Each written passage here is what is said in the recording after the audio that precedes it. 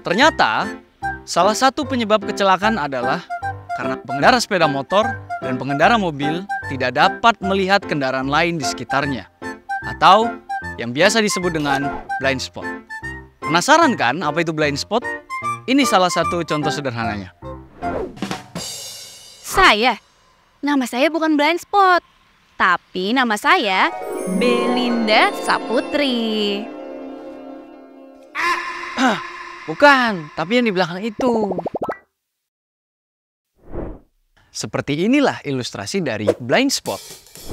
Ini adalah area yang tidak bisa terlihat karena keterbatasan kemampuan cermin merefleksikan lingkungan sekitar. Area blind spot ini adalah area yang tidak bisa dilihat oleh pengemudi. Biasanya area ini ada di belakang pintu depan dan melebar ke arah kanan dan kiri belakang. Seperti pengendara sepeda motor ini. Dari spion dia tidak terlihat dan bisa mengakibatkan kecelakaan.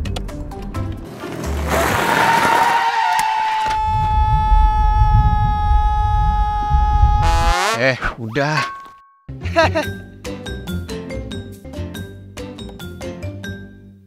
Untuk mengantisipasi blind spot, ada beberapa cara yang bisa kita lakukan. 1. Cari posisi duduk yang nyaman. 2. Atur sudut spion kanan dan kiri dengan rumus 30-70. 30% kaca spion memperlihatkan badan mobil dan 70% ke arah samping. 3. Untuk spion tengah, pastikan dapat melihat lurus ke arah kaca belakang dan tidak terhalang barang atau objek lain. Jangan lupa berdoa ya.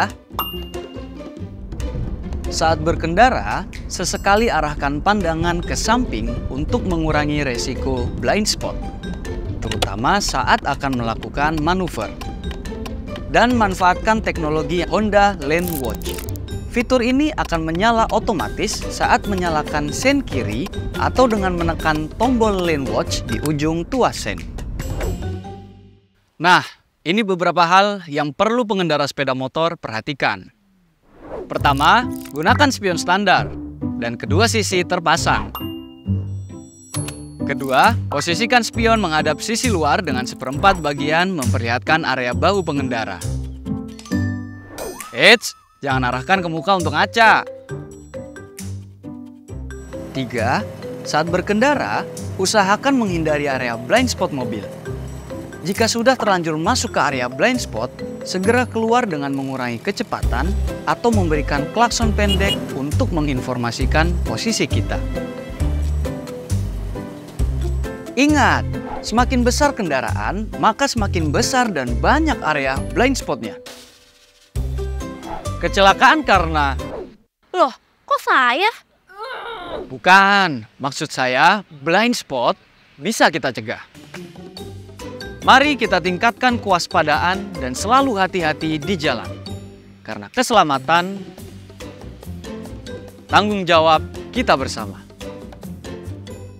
Selalu cari aman saat berkendara.